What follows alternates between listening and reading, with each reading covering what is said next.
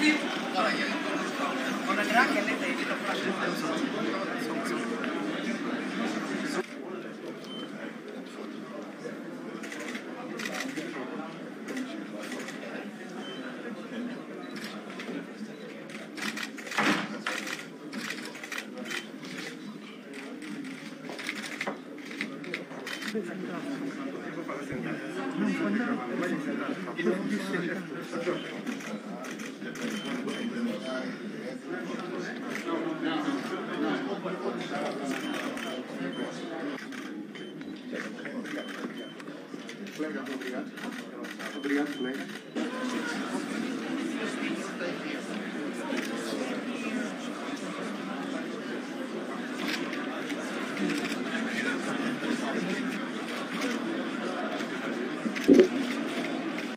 President William Ruto was inaugurated in office on 13 September 2022 on an agenda of bottom-up economic transformation embarked on critical institutions the presidency the Ninth Summit in December 2019.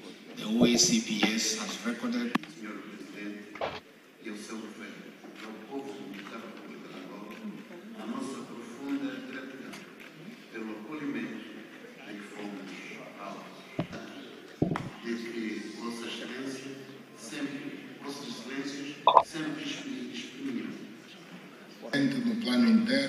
buscar apoio junto dos nossos grandes parceiros internacionais. 2019, the OACPS has recorded key milestones, notably the adoption of the revised Georgetown Agreement. This, trans this transformed us into a fully fledged international organization with the aspiration to be an advocate for global solidarity and a staunch supporter of multilateralism. This is further reiterated by implementation of the Nairobi Guvia Pamoja Declaration. Further, the first extraordinary inter-sessional summit of the OACPS heads of state and government sought to identify opportunities for global solidarity and action. This was in the wake of the socio-economic devastation of the COVID-19 pandemic. Kenya has also remained in the forefront of active, high-level engagement with the European Union to strengthen our partnership. Excellencies, as the presidency of the summit, Kenya pledged to ensure that the vision and goals of OACPS are at the very center of the international engagements and that we become a beacon of multilateralism. This pledge was backed by endorsement of the revised Georgetown Agreement and the Nairobi Guvu ya Pamoja Declaration and provided the much needed impetus for the renewal of the organization. Kenya has lived to this expectation. Aside, we are still faced with many challenges amidst the COVID 19 pandemic, peace and security, and the threat of climate change. Our organization is also facing waning faith in the meeting the national interests and aspirations of member states.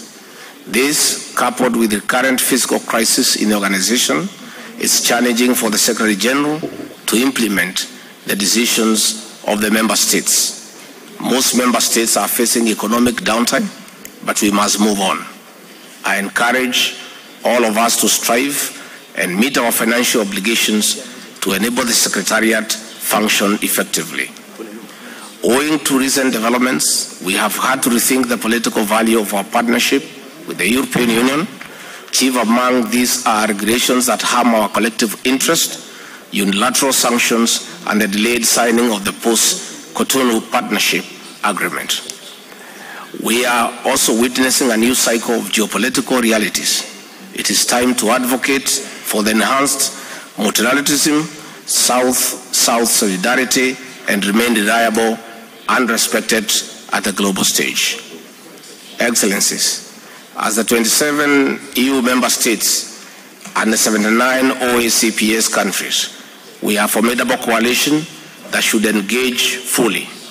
As member states, we have a duty to demonstrate the strength and value of the OACPS beyond Brussels.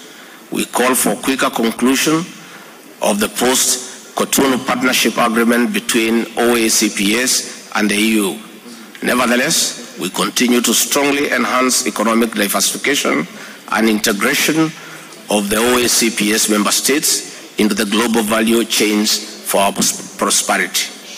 Kenya remains positive to the contribution of the diaspora in the development of our countries.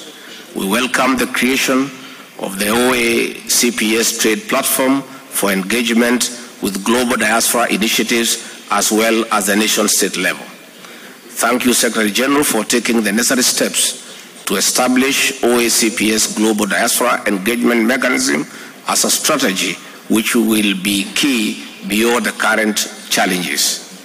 Excellencies, the theme of the 10th summit, three continents, three oceans, one common destiny, building a resilient and sustainable OACPS is a great breather by member states towards resilience and economic diversification to attain economic independence. We, we reaffirm our continued commitment to leveraging emerging technologies as a critical tool in the fourth industrial revolution towards a knowledge-based economy. Excellencies, Kenya affirms a sustainable blue economy to member states and its delivery, especially of the Sustainable Development Goal number 14. In this regard, Kenya and Portugal co-hosted the 2022 UN Ocean Conference in Lisbon in July 2022, where we were honored to showcase our leadership role in the ocean agenda. Excellencies, our economies are prone to global risks. The COVID-19 pandemic and the war in Ukraine have amplified poverty level, inequality gaps, and debt burden, particularly among the lower middle income countries, which require adequate physical space. We need a mutually agreed upon uh, criteria for categorizing middle income countries, noting that majority of these countries